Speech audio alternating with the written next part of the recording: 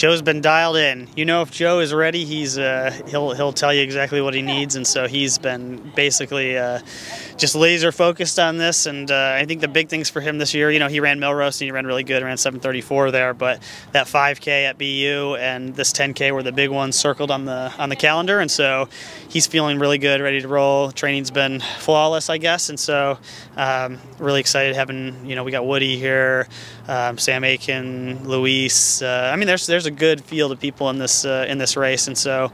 Um, we have some good pacers, so I'm hopeful that uh, we can stay on it early, and um, you know we'll see if they close it down at the end. But I mean, anything uh, anything below 27 is going to be a, a good success for Joe here.